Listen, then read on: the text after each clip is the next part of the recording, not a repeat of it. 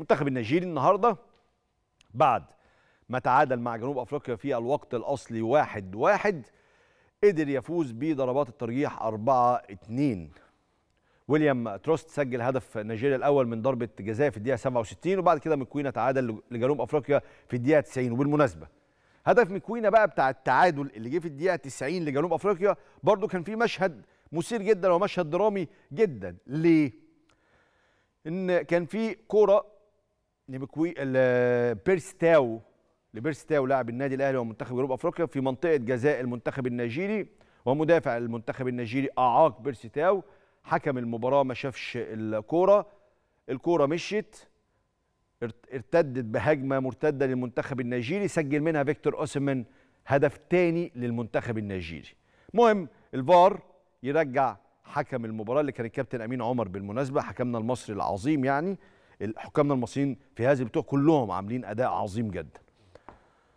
فرجع الفار أمين عمر وقال له لا خد بالك ده في إعاقة لبيرسي تاو في منطقة الجزاء قبل الهدف اللي سجله المنتخب النيجيري.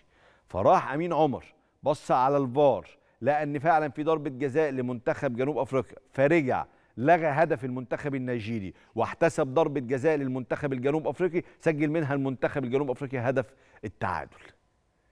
حلوة الكورة. دايما أقول يا بخته اللي يحب كرة القدم بيعيش أجواء ممتعة ومثيرة دائما دائما. واللي بيحب كرة القدم برضه ساعات بيعيش أجواء صعبة جدا مش عايزين نرجع لها.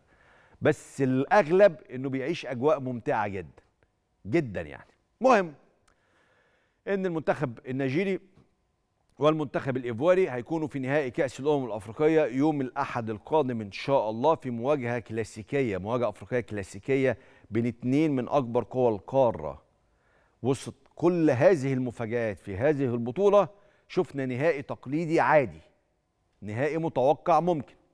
لما كوت ديفوار ونيجيريا يلعبوا مباراة نهائية عادي جدا. كوت ديفوار صاحبة الأرض والجمهور ومنتخب قوي جدا. المنتخب النيجيري هو أكبر أكبر قيمة تسويقية بين كل المنتخبات اللي موجودة في القارة الأفريقية فوارد جدا إن هما الاثنين يبقوا في النهائي. آه في قوة كبيرة طبعا خرجت من هذه البطولة زي السنغال زي مصر زي المغرب زي الجزائر زي الكاميرون.